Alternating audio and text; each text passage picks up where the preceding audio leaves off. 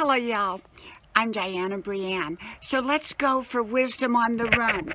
I've got my running shoes on, and it's a gorgeous, gorgeous day. And so let's go for wisdom on the run. Oh, here we go again. Oh my goodness. Yeah, every day. Every day. Okay but at least I get through. Um, I have to pass by this way. Otherwise, I have to go out into the street area, and I don't like to do that. So, but the dog's fenced in. It's a, it's one of the homes um, that is kind of behind our property, and so there's a open area that's all for the public. It's trails, and uh, and that's what I go on the public part. Oh, you're either on my property or the public part. So, but nonetheless, people, most dogs are wonderful. There's some wonderful dogs on this trail that come out to greet me in the morning, but that's not one of them. we had an amazing day yesterday. We took a trip through North Carolina and I put that up on YouTube and it was just wonderful. And so I put that trip up on on YouTube. And uh, then we stopped at the end of the day at one of our favorite, favorite bar restaurants. And I called the biker bar.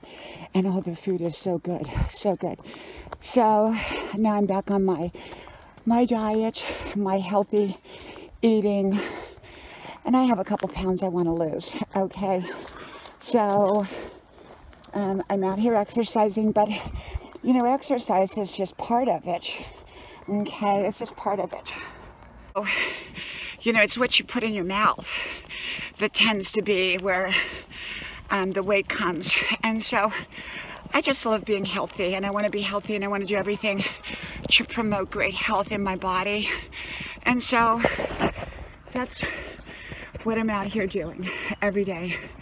And uh, so I have a few, you know, couple pounds to lose and I'm working on it. And actually with another YouTuber friend who's also doing the same thing and she really is so inspiring. And uh, I share her channel out a lot and because she has a great channel. And uh, so yeah so exercise, but it comes down to what you eat and how much you eat. And, you know, everybody's body frame and metabolism is different. And the older we get, our metabolism most certainly can change. And so, let me run across here. And so our metabolism does change. So for me, you know, it's all like yesterday, you saw me, if you watched the video, I stopped and got green tomatoes. I call them fried green tomatoes, but they're actually green tomatoes at a vegetable stand. And they're beautiful, beautiful vegetable stand. And I'm gonna fry them up, but I'm not gonna use any oil. Okay, for me personally, I'm not suggesting anything, but I'm going to avoid the oil. And uh, because I think overall I get plenty of it in other kinds of foods. So um, and so I'll kind of fry those, not my regular way. Normally I, I fry them in a little bit of oil and I fry them with, dip them in flour and cornmeal, but I'm not gonna do that. I'm just gonna do them my cast iron skillet kind of with nothing, maybe just a little bit of water on the bottom and uh, so it'll kind of brown them a little bit. And of course they won't be quite as yummy, but they'll still taste good and I think they're healthy. So I mean, I want to keep my food healthy and the way I prepare it, because we can take healthy food and misprepare it and make it actually unhealthy food, okay? I don't want to do that. I want to keep my food healthy. Uh, about being vegan. You know, I've always say I'm a bad vegan because when I go out to a restaurant, I eat what I want, or to a friend's house, I eat what I want. And that's true. But at home, I, I'm vegan. But I'm kind of you know, and that's probably the way I'll keep it. I don't eat a lot of meat, but I do eat some. I try to lean towards being vegan with some modifications. And I'm not against eating meat. but it's got to be good meat. Now, a lot of people are against it, and I respect that. I'm neither for it nor against it. I'm just what I am, you know. And so when I go out, you know, um, sometimes I just have fish or something like that. But, uh, um, you know, restaurants do make a lot of vegetarian foods. Usually not vegan, but vegetarian. And even if they're making vegetarian or vegan or whatever, often they're not anywhere near as good as the real deal. Although those are the real deal too. I mean, I've, I've had vegan, vegetarian food out that was off the chain good. There's a place on Tybee Island that, you know, we have our little beach house. They will make it vegan. Oh my gosh. Incredibly good. Incredibly. Okay. So yes, I'm on a diet. But, you know, I've always watched my weight. And it's just that I think it's so easy over the holidays. It's going to be easy to put on weight. And people say, well, that's not the time to start. Well, you know, the time to start for me is now, anytime. Always eating healthy. You know, I'll make a wonderful Thanksgiving dinner for my family and for everyone um, at the same time. And I'll have a little bit. But I'm going to primarily stick with the healthy, healthy stuff. Like last night when we went out to our biker bar, I had this awesome salad. Okay, I did. I did. Eating healthy may not always be fun, but you got to make it fun. Sometimes difficult things can be made fun. Even being on a diet or whatever. Meet other people, meet new friends who are doing it too. Oh, you know, that's what I do. You know, connect with other like-minded people with like-minded goals. You know, be healthy, be fit. I'm all about that because after this past week, you all know what I went through. It was so scary for me. And so I just want to do everything in my power. I'm still going, you know, going to go see the surgeon about, like I talked about, the breast reduction um, to a cup C instead of being an E, even because as you get older, carrying around excess, um, your frame changes, you know, and you want to be respectful to your body. This wave to my son. He works, he, he goes to college full time, but he also works three part-time jobs. And one of his part-time jobs is um, at the gate of a of the country club here, one of the country clubs, a very nice country club. And so he greets the people as they come in, so I wave to him. He's such a good boy, good young man. We, we had a wonderful day yesterday. And it was just great to get away. And then, of course, y'all know the weekend before we went to Tybee Island, and that was wonderful. Even though it rained the whole time, that actually made it even better.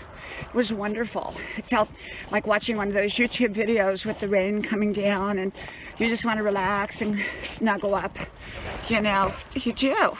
So my husband and I yesterday, um, we didn't do the trails, but well, it was like a trail, but it was a road. I, I wanted to stay on the road because it was going to get dark and I didn't want to be out somewhere where we didn't know, even though my husband's a great navigator. I just didn't, you know, plus I had just done my five mile run and I just wanted to enjoy the day. It was about enjoying the day rather than, you know, trying to be on the trail and all of that kind of stuff. So we had a wonderful day. So, you know, I'm not going to stop myself from eating out as long as we don't do it every night. Crosswalk, crosswalk. Always be careful at the crosswalk. Okay, made it across. And so, so this is the thing. Is that, uh, you know, when I eat out, I'm going to eat what I want, okay? Within moderation. And, but when at home is where I'm really strict with myself. Not with my family, you know, they can eat what they want, although I prepare wonderful, I prepare all kinds of foods at home. Healthy, and then all the good stuff too, that they love. And, you know, I always promote great health, great well-being.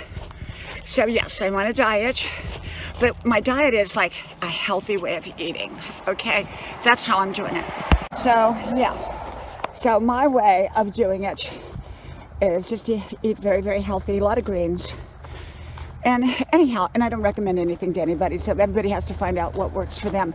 So I wanted to tell you that I think yesterday was absolutely gorgeous with the leaves, but I think that in the next day or two they're going to be all gone or pretty much gone or near gone from changing colors and I just loved it. The colors were gorgeous. If you haven't seen that video called North Carolina, it, one of my videos on my channel, go look at it. You're gonna love it. The autumn leaves of North Carolina, you know, and uh, we live in the South, you know, Tybee Islands in Georgia in the South, way out there. I meet so many nice people because I'm friendly, but I also, being friendly, you meet some not nice people you know, but the majority of people are really nice. And then there are those other people. We live in a big world with all kinds of people. And, you know, I always say stay out of the wrong environments because the wrong environments will shoot, bring in bad people. But what happens when you're in a right environment and bad people enter? It can happen workplaces, even churches, you know. So, but I think you're inviting them if you're in wrong places, places that don't promote the right kind of situations. So you want to find yourself in right environments, right situations to the best of your ability. Sometimes it can be locations, it can be where you live, you know, um, it can be where you work, it can be where you go to church. You got to find right places. No place will be absolutely perfect, and, and even in right places, you've got to be mindful. You know, you got to be mindful, extra mindful nowadays, especially extra mindful. Um, but overall, most people are pretty good. So I stay friendly, selectively friendly, but friendly.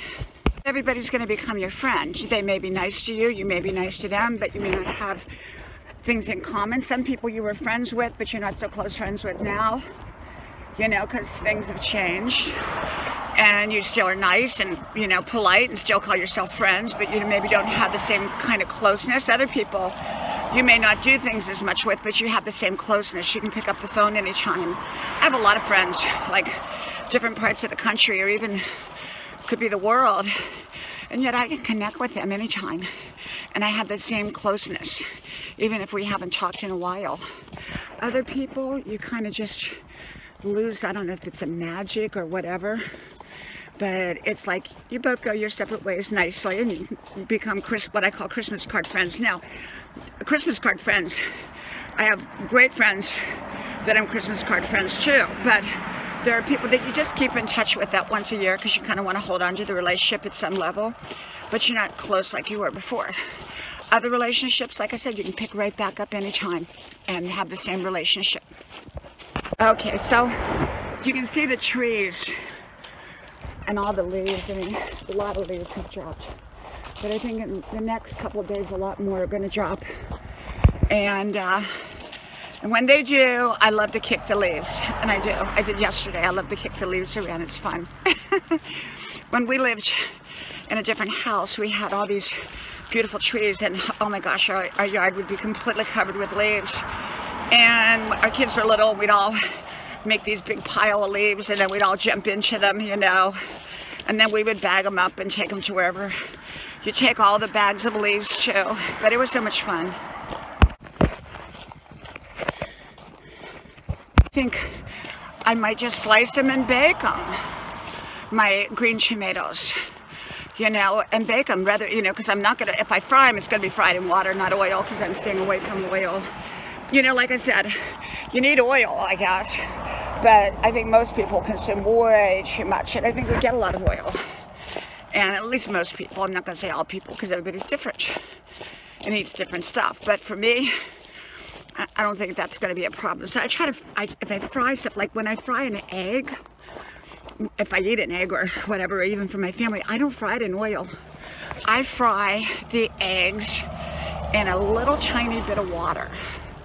Yeah, they taste, nothing tastes as good as like real sugar or putting frying stuff in oil and dipping it in flour and all that, of course.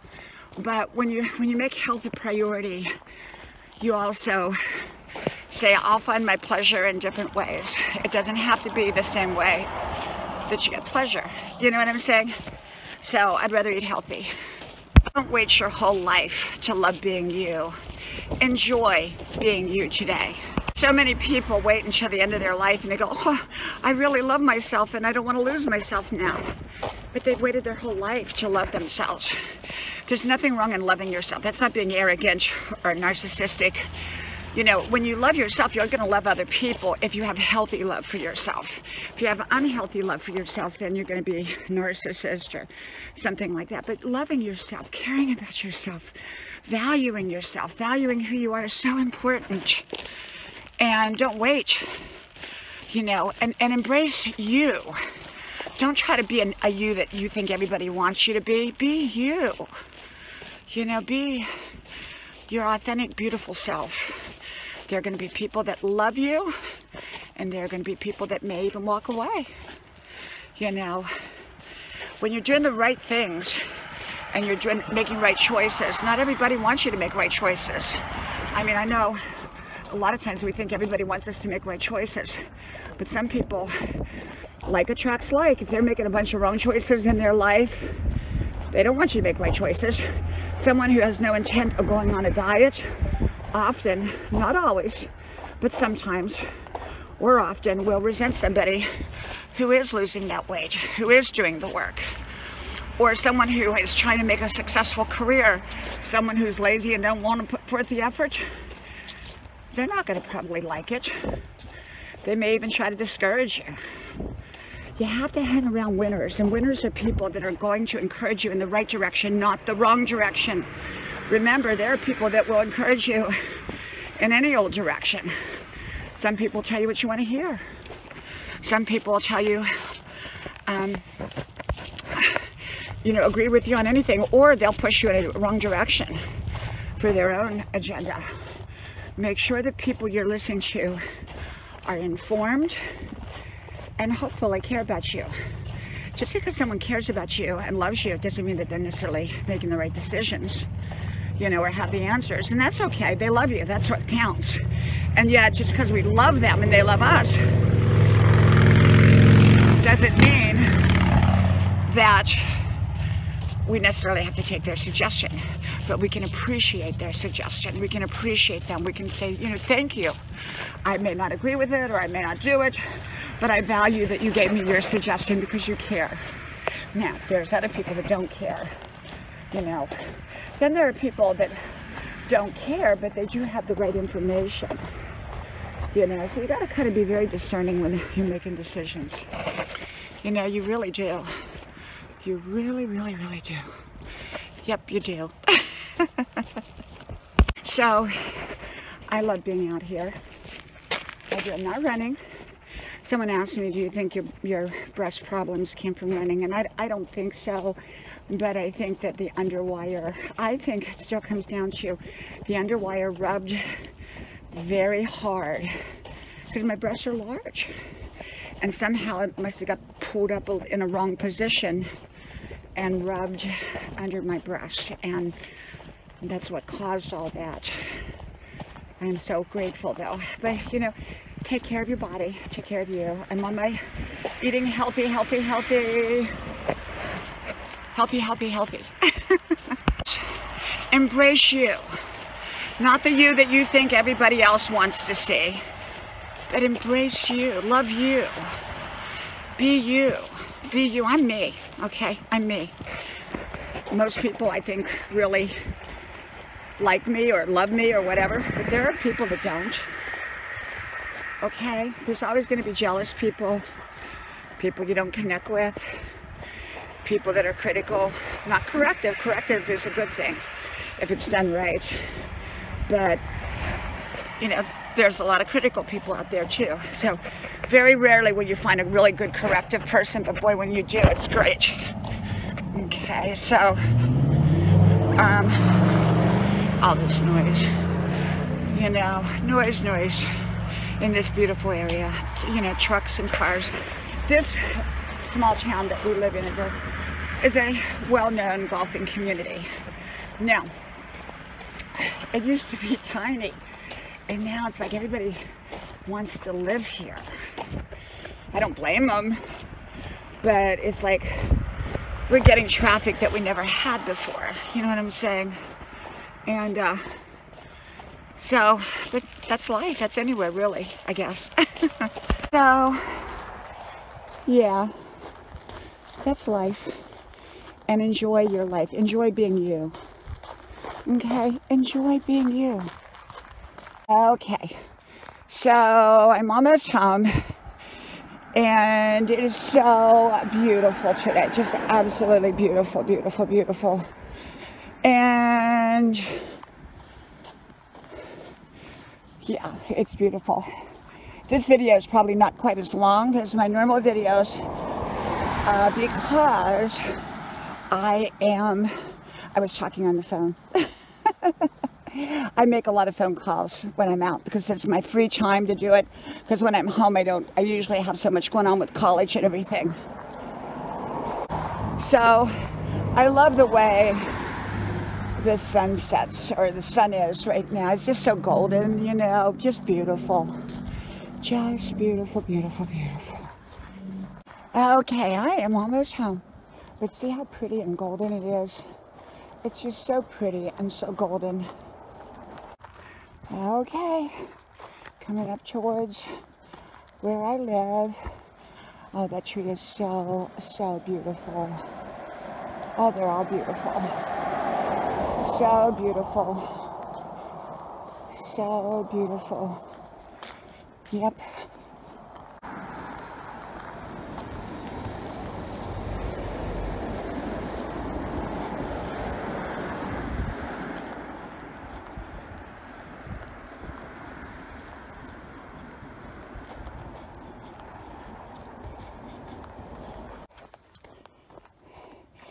could be the way the sun shines on these trees because those have leaves and then these ones don't. Okay, I feel like Goldilocks. I'm waiting for the three bears or the big bad wolf. that barking dog could be the big bad wolf, I guess. I don't know. I stay clear away from it. Uh, but it does, it, people always say this, where I live looks like Goldilocks and the three bears or Little Red Riding Hood, you know, and it does. It does. It is so beautiful back in here. And then I go on my property. So this is public right here, technically public, uh, where anybody can walk back here. Um, and then we get onto our properties that are all uh, fenced off. Yeah, so see the, the fences go along here to all of our properties. Yeah, there's the big bad wolf. so, yeah. Okay. So, I just...